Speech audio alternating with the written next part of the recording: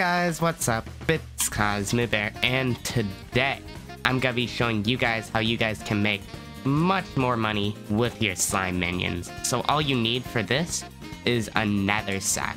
Highly, highly recommend you get the fully upgraded one with 60k items because what we're doing is we're saving the corrupted fragment. Now you can do this with the 20k nether sack and you can do it with the 6k one, but I highly, highly recommend you're doing it with the 60k because as you guys will see, you get a ton of corrupted fragments. And most people just put them in their personal deleter and ignore them, but you can actually make a good amount of profit from the corrupted fragments.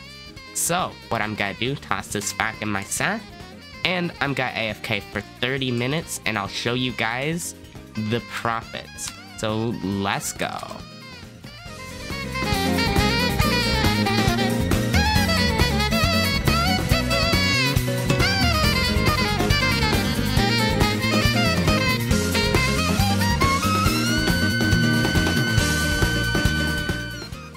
Alright, it has been half an hour now.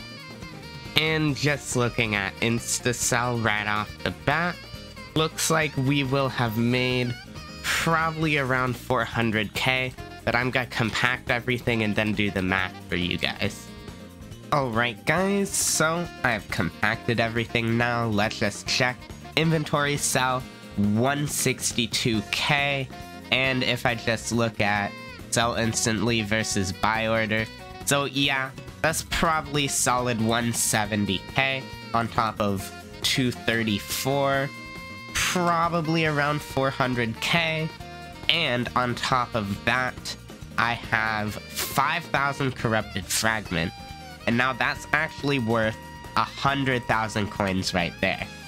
So that just bumps up everything by 100,000 coins flat and this won't be changing because this is NPC sell prices.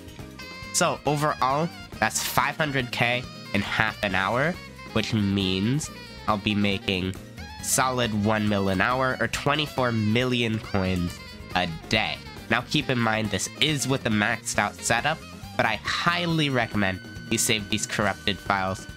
Corrupted files?